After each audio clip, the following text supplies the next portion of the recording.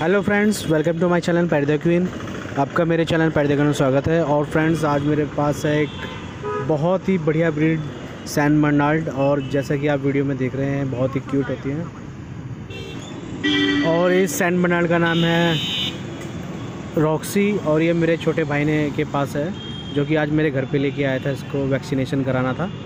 तो आप देख लीजिए, ये भी सेवन्थ मंथ की सैंड बर्नाल्ड है और आप देखिए अभी इसकी ग्रोथ देखिए अभी से बेसिकली जो अदर पपीज़ होते हैं, जो अदर डॉग होते हैं, उनकी ग्यारह मंथ में जाके हट आती है।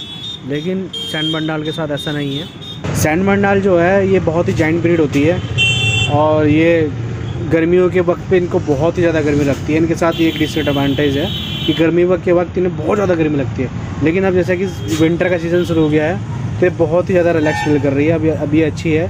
तो आप इसकी ग्रोथ देख सकते हैं फ्रेंड्स कि ये सेवन मंथ की इसकी क्या ग्रोथ आई है।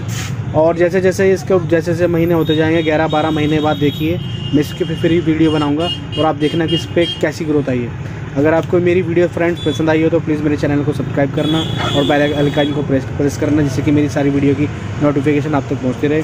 और हाँ फ्रेंड्स आपको मुझे बताना ज़रूर कि आपको सैंड बर्नाल्ड कैसी लगी। और ये एक फ़ीमेल है, जिसका नाम रॉक्सी है। अब तो चलिए आप वीडियो इन्जॉय कीजिए फ्रेंड्स